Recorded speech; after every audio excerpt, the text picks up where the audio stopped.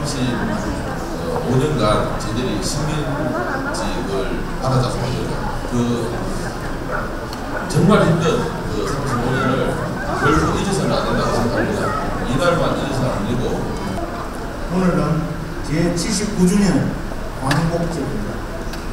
혹독했던 식민 역사의 종지부를 찍고 대한민국이 현대사의 첫 페이지를 연 참으로 감격스러운 날입니다.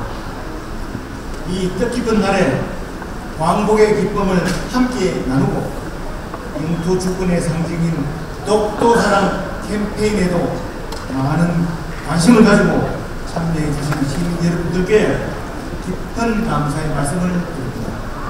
오늘날 우리는 다양한 도전과 변화 속에서 살아가고 있습니다.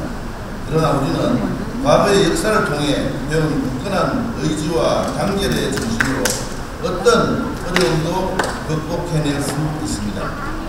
우리 모두가 각자의 자리에서 최선을 다해 노력할 때 대한민국은 더욱 밝고 희망찬 미래를 향해 일본은 식민 지배와 침략 사실에 대해